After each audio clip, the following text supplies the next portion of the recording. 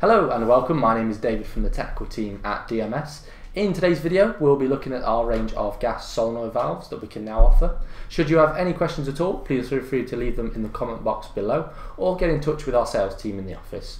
The Sapphire range of gas solenoid valves are newly added for 2016.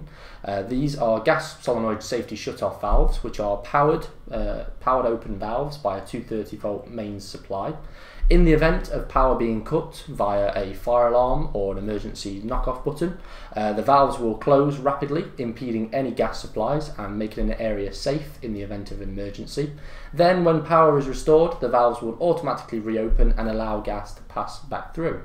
Uh, the Sapphire range of valves are available from sizes half inch up to 2 inch as a BSP female threaded connection valve. Then from 65mm up to 150mm, you'll find all of the valves with a PN16 flange connection. As mentioned, all of the coils as standard are supplied with a 230 volt mains power requirement, but we can also offer lower voltage coils of 24 volt if you have a lower voltage application.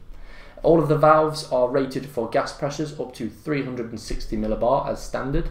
Higher pressure versions are available, but what we can also offer is gas governors should you need any help in reducing your pressure down to a safe level.